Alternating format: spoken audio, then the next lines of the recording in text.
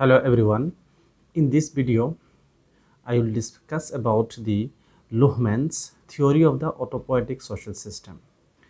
And this video is the continuation of earlier two videos on Luhmann's uh, theory, that is Luhmann uh, theory or system theory or theory of social system.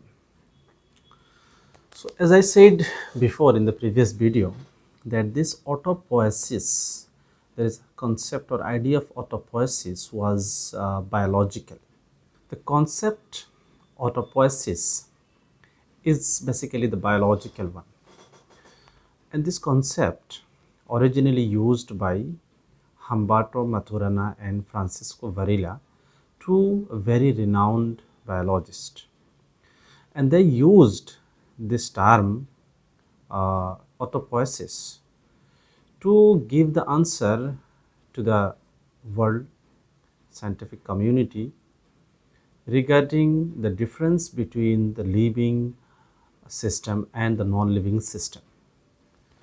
That is how living system and non-living system can be differentiated. So through this concept they gave the answer.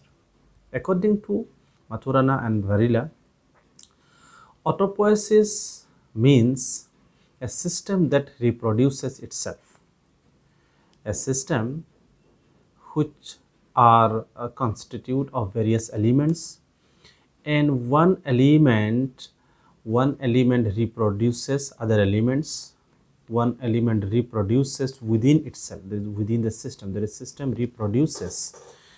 And this reproduction of the system is called the autopoietic system so basically they, Maturana and Varela used this concept in the understanding of the biological system, in the understanding of the living system. That is how particular cell, for example, uh, reproduces the other elements like the protein, lipids, etc and the cell reproduces within the system.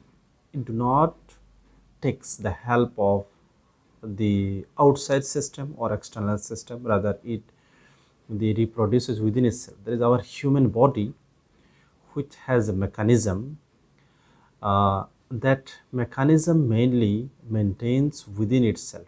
There is its various elements reproduces or Uh, produces within the system. So, this is called the autopoiesis. So, according to Maturana and Varela, autopoiesis is a term, is a concept that can explain the the that can explain the living system, that can explain the biological system, and according to them, the system that is elements of the system reproduces other elements produces and reproduces other elements. That is the system maintains within itself. System is not dependent on other external aspects or the system. In this sense this autopoiesis system can be considered as the closed system that is operatively closed system. That means its operation that is its activities system has its activity. And activity is confined within it. So it is operatively closed. It is not related to any external system external processes. Rather it happens it maintains within itself that is operatively closed. But that does not mean that living system is not related to the external uh, processes or external system. Rather it has its interaction with the outer world with the environment and this is called as interaction. So according to maturana and varela the autopoietic system may have interactional openness. It may be uh, closed in operation but it may have the interactional openness. That means a living system always maintains interaction with the environment concerned. So, for the uh, for maintaining life, for maintaining the sustenance, duration, the system needs to have connection, interaction with the environment, different aspects of the environment. So this is how it interacts. But this environment or other various aspects of the environment or external processes are not involved in the process of maintaining operation or activity within the system. System has its own maintenance. System has its own maintenance. So these two things this autopoietic system pointed out. There is operatively closed and interactional openness. That is, it has its interaction with the outer world, but its maintenance happens within it. But Luhmann modified this concept, this concept of autopoiesis in his theory, in his theory of the transdisciplinary uh, autopoietic social systems. So his autopoietic system is a little modified. And this is his theory according to him can be applied to the non-living beings. Because autopoiesis or autopoietic system originally used for living system but according to Luhmann this concept can be used for non-living system as well.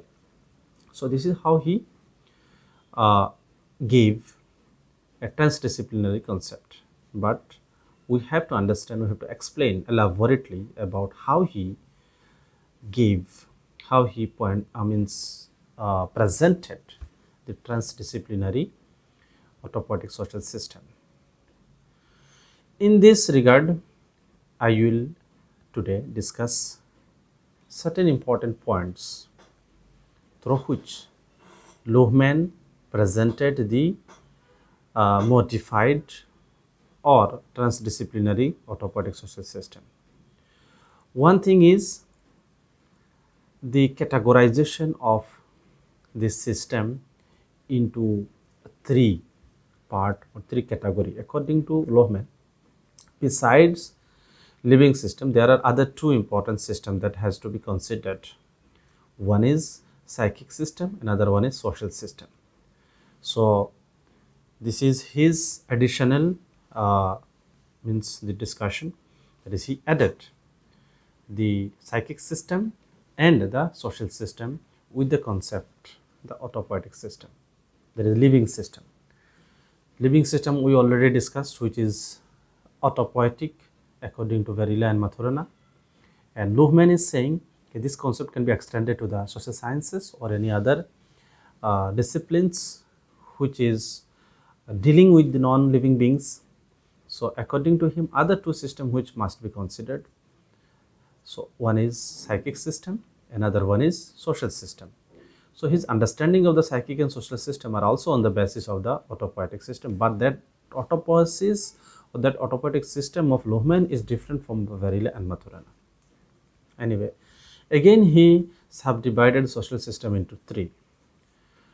Uh, organization, interact, societies, organization and interaction. Societies, organization and interaction. So according to Luhmann, psychic system also maintains the autopoiesis there is psychic system uh, a system that mainly reproduces that produces its system and reproduces the system on the basis of the on the basis of the uh, consciousness the basis of the consciousness conscious thoughts of the people. So this is also autopoietic system. There is this conscious and the reproduction of the conscious thoughts of the people or human being also happens within its also also operates within it. So this psychic system is also autopoietic system according to Luhmann.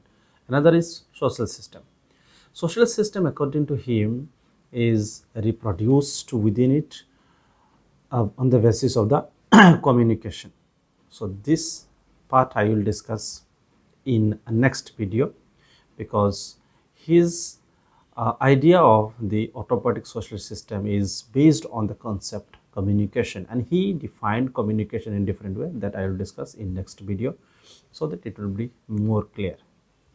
anyway so psychic system which reproduces itself on the basis of the consciousness of thought and social system reproduces itself on the basis of the communication. And living uh, living being or living system that reproduces itself on the basis of the life. So this is how he categorized three systems and these three systems are means are maintaining their own system production and reproduction within them and he further divided society into three parts that is societies organizations and interactions societies means uh, various social systems various social systems in the various places forms various societies then organizations, there is organization, there is peoples, collectivities. The collectivities of the peoples are, are structured in the society in organizational form. Again, this organization has of many dimensions, many nature, of many kinds. Interactions, interactions among the individuals, interactions among the societies, interactions among the organizations or between organizations and societies. So these three are the, these three subparts or subtypes of the society are equally important to understand the Luhmann's theory of the autopoietic social system. So his understanding of the autopoietic system is based on the concept of communication. According to him, the traditional sociology mainly focuses either on the individual or actions. There is individual, how individual behaves in the society or how individual performs in the society. Another thing is action, that is what action individuals do. So action may be, may be external to individual or maybe internal to individual. There is two different uh, different the line of thought in sociology exists. One line or one block that believes that action is external to the society, uh, external to the individual. Another line of thought believes that action is the internal to individual.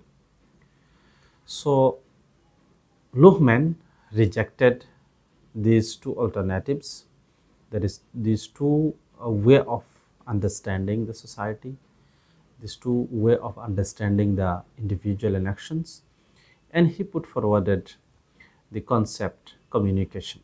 According to him, communication is the most important element. Communication is the most important element that is that is essential that is essential for the autopoietic social system and this communication reproduces or produces other elements in the society.